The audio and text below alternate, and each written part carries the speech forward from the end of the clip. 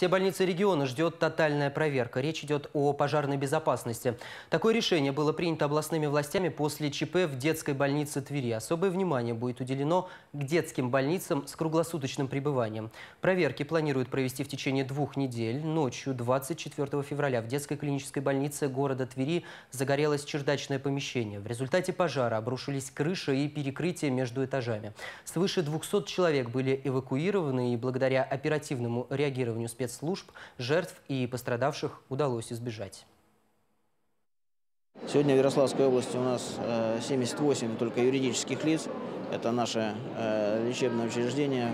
После э, проблем в Твери Дмитрий Юрьевич дал поручение очень внимательно еще раз обследовать наше учреждение на предмет соблюдения правил пожарной безопасности.